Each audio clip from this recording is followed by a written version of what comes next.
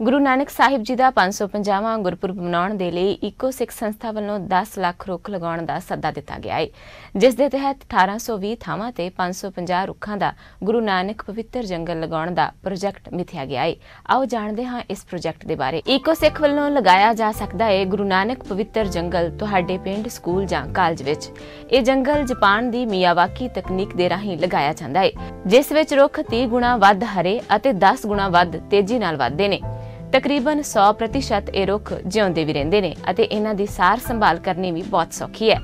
ਇਸ ਪ੍ਰੋਜੈਕਟ ਤੇ ਇੱਕ ਜੰਗਲ ਨੂੰ ਲਗਾਉਣ ਦਾ ਖਰਚਾ ਤਕਰੀਬਨ 90000 ਦਾ ਹੈ ਜਿਸ ਦੇ ਲਈ ਔਜ਼ਾਰ, ਜੀਸੀਬੀ ਦਾ ਭਾੜਾ ਅਤੇ ਖਾਸ ਕਿਸਮ ਦੀ ਸਮੱਗਰੀ ਚਾਹੀਦੀ ਹੈ।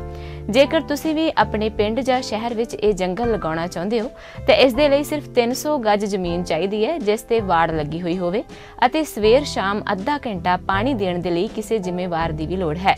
ਸੋ ਇਸ ਪ੍ਰਕਾਰ ਬੜੇ ਸੌਖੇ ਤਰੀਕੇ ਦੇ ਨਾਲ ਪੰਜਾਬ ਦੀਆਂ ਵੱਖ-ਵੱਖ ਥਾਵਾਂ ਤੇ ਗੁਰੂ ਨਾਨਕ ਪਵਿੱਤਰ ਜੰਗਲ ਲਗਾਏ ਜਾ ਸਕਦੇ ਨੇ। ਆਓ ਸਾਰੇ ਰਲ ਕੇ 1820 ਥਾਵਾਂ ਤੇ 550 ਰੁੱਖਾਂ ਦਾ ਗੁਰੂ ਨਾਨਕ ਜੰਗਲ ਲਗਾਈਏ ਅਤੇ 10 ਲੱਖ ਰੁੱਖਾਂ ਦੇ ਟੀਚੇ ਨੂੰ ਪੂਰਾ ਕਰੀਏ। ਗੁਰੂ ਨਾਨਕ ਸਾਹਿਬ ਜੀ ਦਾ 550ਵਾਂ ਗੁਰਪੁਰਬ ਇਸ ਤਰ੍ਹਾਂ ਮਨਾਈਏ। ਸੋ ਈਕੋ ਸਿੱਖ ਦੇ ਇਸ ਪ੍ਰੋਗਰਾਮ ਦਾ ਹਿੱਸਾ ਬਣੋ। ਇਕੋ ਸਿੱਖ ਦੇ ਇਸ ਉਪਰਾਲੇ ਵਿੱਚ ਸਹਿਯੋਗ ਦੇਣ ਦੇ ਲਈ ਸੰਪਰਕ ਕਰੋ। ਆਪਣੇ ਇਲਾਕੇ ਵਿੱਚ ਇਹ ਜੰਗਲ ਲਗਾਉਣ ਲਈ ਈਕੋ ਸਿੱਖ ਨਾਲ ਸੰਪਰਕ ਇਹਨਾਂ ਨੰਬਰਾਂ ਤੇ ਵੀ ਕੀਤਾ ਜਾ ਸਕਦਾ ਹੈ